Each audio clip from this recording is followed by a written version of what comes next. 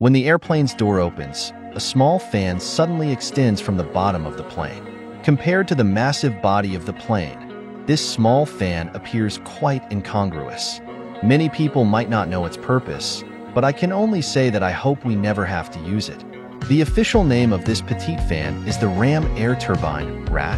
When both the aircraft's leading and auxiliary power fail, the Ram Air Turbine deploys, and the airflow spins its blades, generating a certain amount of electrical power and hydraulic pressure.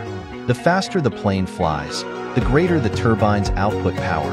Although the electricity it generates is only a fraction of that produced by the standard generator, it is enough to keep some of the flight instruments running.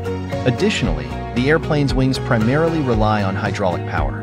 The turbine provides hydraulic pressure to power the wings, allowing the pilot to control the aircraft's direction, thereby increasing the chances of a safe landing. In short, this petite fan is designed for emergency landings.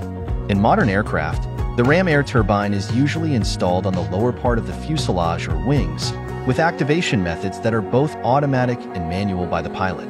It is only used in emergencies, and once the turbine extends, it cannot retract automatically. It must be manually retracted after a safe landing. This is why we hope it is never needed.